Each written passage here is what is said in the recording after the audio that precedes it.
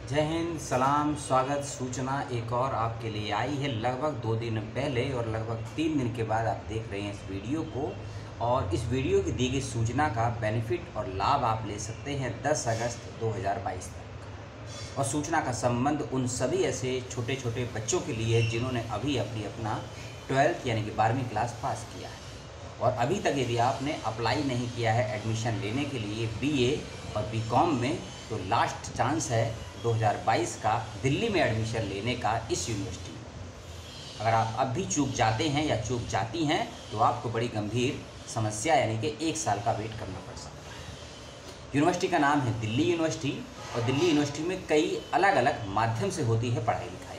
तो उसी का एक माध्यम है या एक प्लेटफॉर्म है N C web non collegiate women education study board तो इस प्लेटफॉर्म के माध्यम से आप बीए और बीकॉम में आवेदन कर सकते हैं अभी भी, क्योंकि इसकी डेट को एक्सटेंड कर दिया गया है और एक्सटेंड करने के साथ साथ ही बहुत सी सुविधाएँ हैं इस यूनिवर्सिटी में, जिसकी जानकारी बहुत पहले दो तीन वीडियो में आपको दी जा चुकी है। तो उन वीडियो को देखिएगा कि क्या है ये यूनिवर्सिटी का प्रोसेस और कैसे भरना है एप्लीकेशन फॉर्म क्या है फ़ीस और कितनी है सीट 26 कॉलेजेस के लिए आवेदन कर सकते हैं और 26 फॉर्म भरने की आवश्यकता नहीं होगी। आपको एक ही कॉमन फॉर्म में आप 26 कॉलेज के लिए आवेदन कर सकते हैं और दो कोर्स के लिए आवेदन कर पाएँगे आप। बीए पास के लिए, यानी कि बीए प्रोग्राम जिसको बोलते हैं, और बीकॉम पास के लिए। और दूसरी चीज़, लगभग टोटल आठ हज़ार से ज़्यादा सीट इसमें आई हैं इस साल।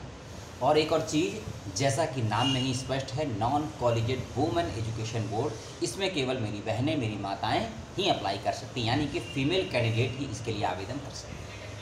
आप यदि दिल्ली में आपने पढ़ाई लिखाई की है, अपना टेंथ किया है ट्वेल्थ किया है तो ज़रूर आवेदन कीजिएगा।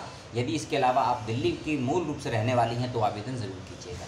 दिल्ली से बाहर से यदि आपने टेंथ या ट्वेल्थ किया है तो भी आवेदन कर सकते हैं। बस आपके पास एक निवास प्रमाण पत्र होना चाहिए दिल्ली का, या कोई भी रेजिडेंस का प्रूफ होना चाहिए तो आप भी इसमें आवेदन कर सकते हैं।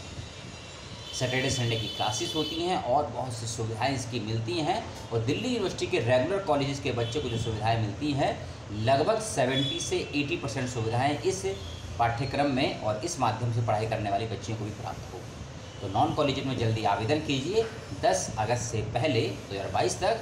और डिटेल में दो वीडियो के लिंक मैं आपको दूँगा डिस्क्रिप्शन बॉक्स में, जिसमें आप इस यूनिवर्सिटी और इस प्लेटफॉर्म के विषय में, पढ़ाई लिखाई के विषय में क्या क्या जानकारी आपको लेनी चाहिए, उसकी जानकारी आपको डिटेल में वहाँ से मिल जाएगी।